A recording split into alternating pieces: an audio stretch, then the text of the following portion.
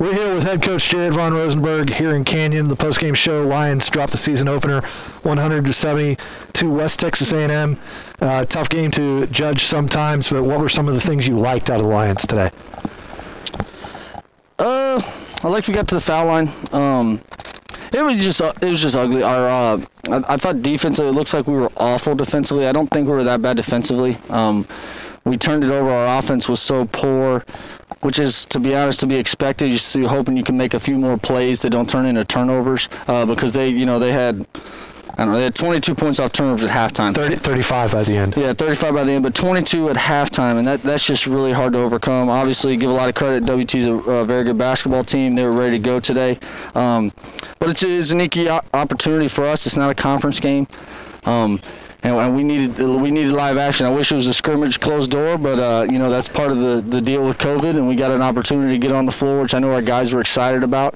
Um, it hurts in that locker room; they're not very happy with uh, you know how we played and the performance on the on the scoreboard. But um, hopefully, this will give us an opportunity to play better Friday and into the weekend to get a chance to get back on track. How did you feel about the uh, team chemistry and the, the way the guys worked together? It seemed like there was plenty of adversity in the game, but the guys kept picking each other up. Yeah, you know, early in the season, a lot of fouls, um, both ways. Uh, you know, a ton of free throws shot. We got to the free throw line, which is another positive.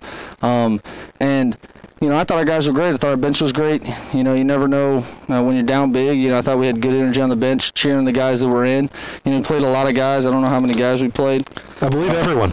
Um, yeah, we played 14 guys. Um, just to get you know everybody a little taste, because I imagine early in the season this weekend there's going to be a lot of fouls going on on both ways. That's kind of how it goes um, early in the year.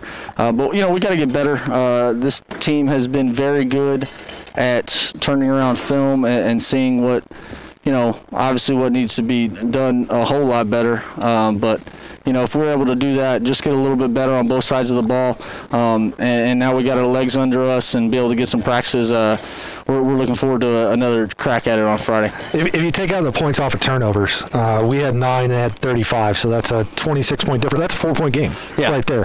So outside of those runouts off of West Texas turnovers, which is what they live on for sure, when you get into that half court, it felt like a pretty even game.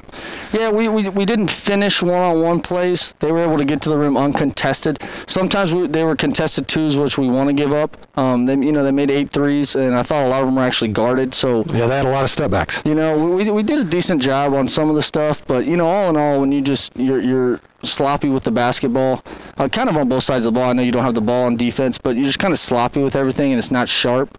Uh, you're you're going to have a hard time to, to win on the road against a, a, very very good team in WT. All right, well it's time to get our legs back under us, hit the road to Austin, and uh, look forward to two big games against uh, St. Ed's to start the conference season. Absolutely. Thanks for coming out, Josh. Go Lions. All right.